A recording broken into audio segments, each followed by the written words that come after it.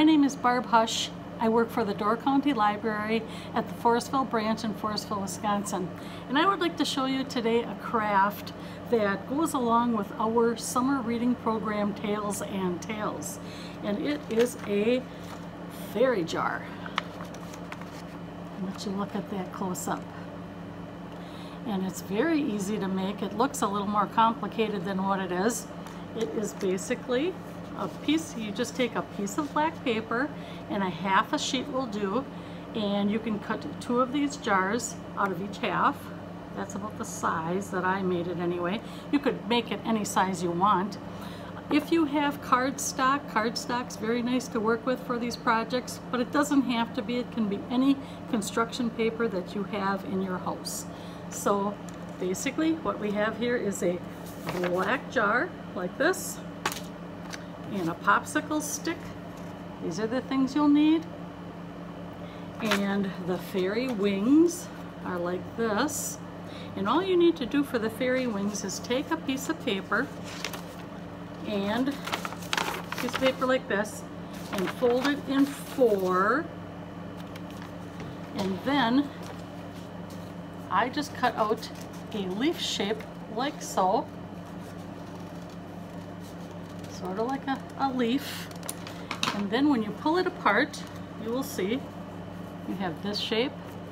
And because I cut it on the crease, I have double that amount, and these will be your wings.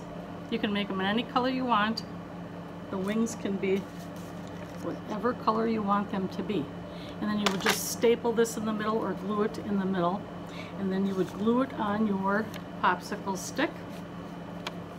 And then let your child decorate the face like so to make a little fairy. And you could also, you could glue yarn if you wanted on to give her hair. I just colored her with magic markers. I made a face and I colored her with magic markers. And then for the wings, I decorated them with some little lines and squiggles just to give it a little texture. And then of course, I always like to use colorful things like this.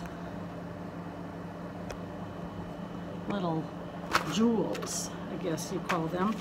So to make this fairy in a jar, here you go. And you just glue your little baubles on there, your little gems and make it really sparkly. And I did cut a little slit in the jar and then I stuck my little fairy in there, her little popsicle stick in there and I glued her in place so that the kids aren't pulling her in and out, but you can leave her loose if you want and they can play with her like that also. So here it is, a fairy in a, a fairy in a jar. I hope you like making this. I think your kids really will and it can be a boy fairy, a girl fairy, whatever you want it to be, or just, just a butterfly, or let your kids decide what they want this to be. It can be anything. Thank you. I hope you enjoyed this craft. Bye.